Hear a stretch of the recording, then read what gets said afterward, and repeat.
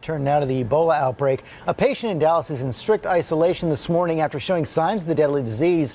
Doctors concerned based on his travel history as America spends tens of millions and sends thousands of troops to treat Africa's victims and keep the virus from spreading here. ABC's Dr. Richard Besser is on the front lines in Liberia. Good morning, Rich. Good morning, George. This morning in Texas, they continue to test a patient who traveled and has symptoms of Ebola, while around the globe, the death toll from the disease continues to rise.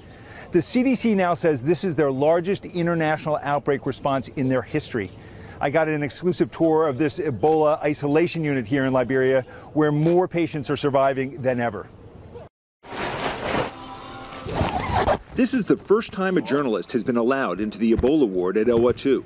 It's getting hotter with each layer, but feeling safer with each layer too. Suiting up this carefully, layers and layers of protective gear, Maybe why they've never had anyone who works here catch Ebola. We just have to identify one another. Very good. Dr. Jerry Brown, a Liberian surgeon, is in charge. He prays every time before he goes into the ward. Protect us, Lord, from every danger.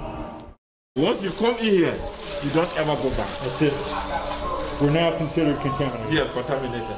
60 people in a ward built for 40. The wards the U.S. is building won't be here for weeks. America realizing we must stop Ebola here so it doesn't continue to spread around the world. My head tells me I'm protected from the body fluids that would transmit Ebola, but my heart pounds anyway. Ravi is a 26 year old who caught the virus from his roommate and feels that Dr. Brown saved him. He gave my life. No, Ravi, I'm not God. he gave you life. Yeah, he gave me life. This patient is a nurse. Here, healthcare workers who are on the mend help monitor the others. Already infected, they can work in the wards without the brutally hot protective gear. After just 40 minutes inside that unit, I was dehydrated and exhausted. But, but something surprised me. For the first time during this crisis, I saw hope. George?